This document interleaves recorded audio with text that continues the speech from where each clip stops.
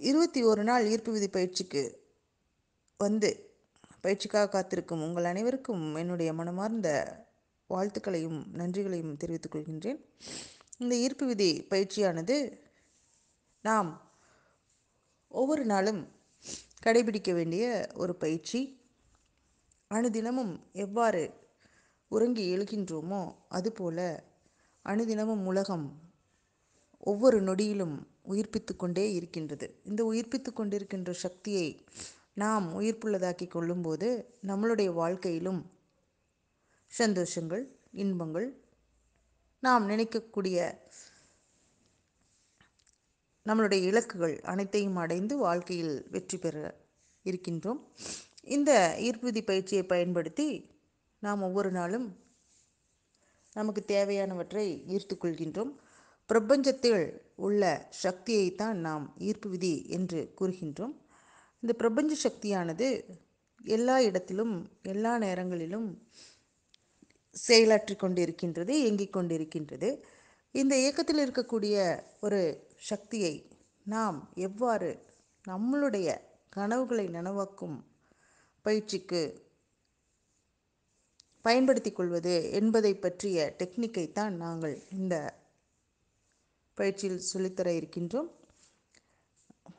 அன்பர்களே நீங்கள் அனைவரும் இந்த பயிற்சியினை செவ்வனை செய்து வாழ்க்கையில் வெற்றி பெற வேண்டும்.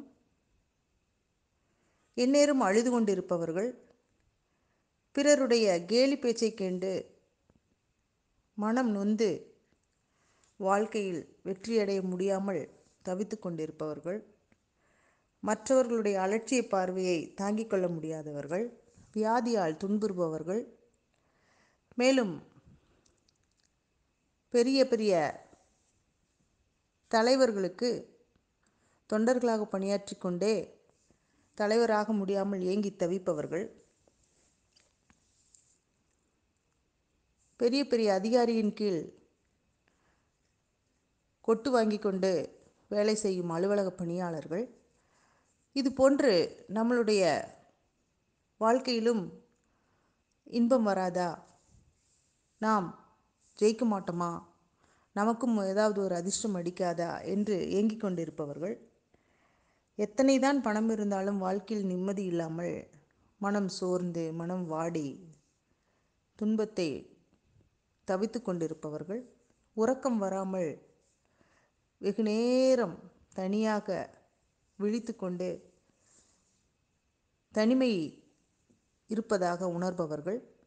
இந்த மாதிரி பல பிரச்சனைகள் ஒவ்வொருவருக்கும் உண்டு.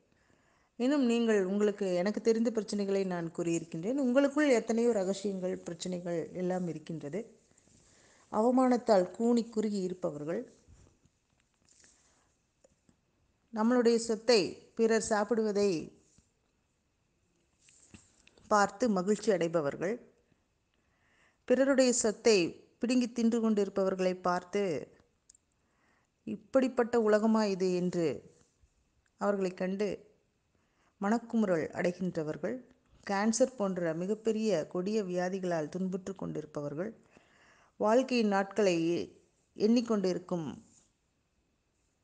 நோயாளிகள் போன்ற பல பிரச்சனைகள் சிக்கி தவிப்பவர்களை